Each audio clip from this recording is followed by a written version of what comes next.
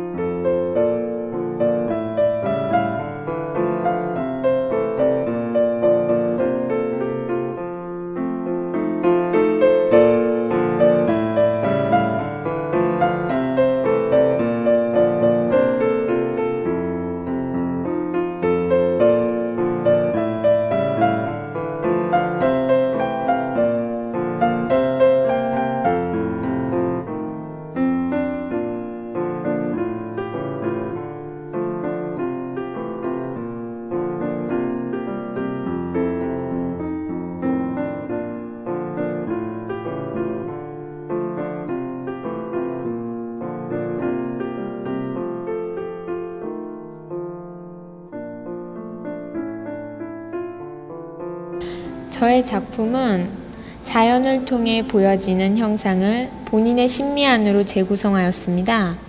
자연이 지닌 영원성과 그 숨결을 느끼고자 하였고 자신을 스스로 반추해 볼 수 있는 사유 공간과 그 속에 내재된 진솔한 심상 세계와